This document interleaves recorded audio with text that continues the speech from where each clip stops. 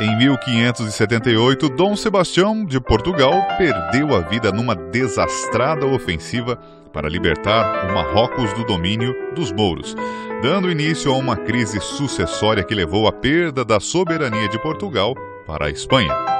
Editora e professora da Universidade Stanford, Ruth McKay investiga o mito do sebastianismo, a crença do povo português de que o rei estava vivo e regressaria ao país e conta a história do impostor Gabriel de Espinosa, ex-soldado e padeiro de ofício que, sob as instruções de um distinto frei português, aparece em um convento espanhol dizendo-se Dom Sebastião, 16 anos após a morte do monarca. Título deste livro o Padeiro que Fingiu Ser o Rei de Portugal. Autora Ruth McKay.